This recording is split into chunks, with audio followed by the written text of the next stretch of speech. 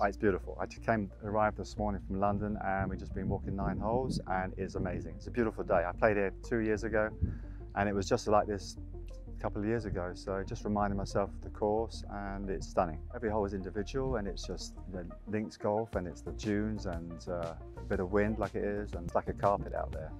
And the greens are good. You know, there's a bit of a few funky greens, uh, a bit undulations, but uh, it's you got to know where your way around the golf course. Obviously, like anything, you got to do your homework.